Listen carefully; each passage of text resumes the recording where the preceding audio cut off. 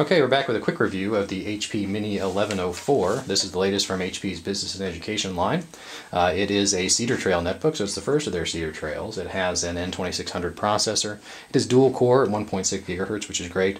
Uh, comes standard at the base level with 1 gig of RAM and a good size 54 watt hour uh, 6 cell battery, which will get you close to 8 hours. It's not quite as big as the battery on the Asus uh, 1025C, but pretty close, so it's a, a good size battery.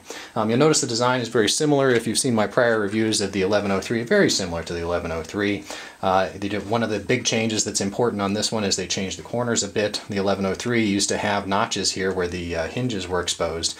So what would happen is you would bang those hinges against something and then the plastic would break off and HP charged a bunch of money to replace that plastic. So now you can see it's got nice smooth lines around the edges so you're not going to get that broken plastic corner issue anymore. Uh, let's take a look around the sides of it. We have our typical ports, uh, SD slot, uh, separate microphone headphone jack, which is always nice. Uh, we have a Kensington uh, key lock, two USBs, and Ethernet on this side. And on the left side we have VGA out, power, and another USB port. Now notably absent on this model is the HDMI port. I have not seen another Cedar Trail netbook without an HDMI port, so I'm not sure why this one doesn't include it.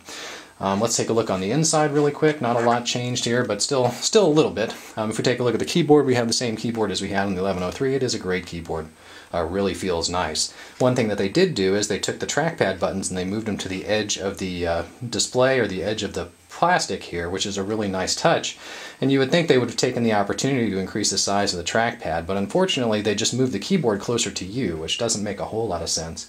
I would have liked to have seen them leave the keyboard where it was and maybe make this trackpad a little bit bigger. But, you know, not a huge deal. It still works fairly nicely. Um, standard webcam, of course, and we've got the fingerprint magnet uh, around the edge here. Now the 1104, as I said, is from their business and education line, so it's got a couple of uh, added features. It's got uh, trusted platform management for those of you who are worried about DRM and uh, securing your platforms.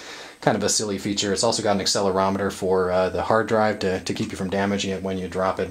And it's got a spill-proof keyboard for all of that, you have to pay about $349, which is a bit steep, I have to say. You know, compared to other netbooks that are out there at uh, 289 and, and less uh, with the same basic specs, you're paying an awful lot for that TPM module and, and a spill-proof keyboard that may or may not be spill-proof. Uh, if, if, you're looking at HP and you really like HP, I would look at the uh, Mini 210 version of this, which essentially is the same netbook, uh, but it doesn't have the TPM and all, some of the other little features at 299. It's a little bit more competitive. Again, kind of a bummer it's missing that HDMI uh, port, but uh, overall it's not a bad machine. A little pricey, as I said.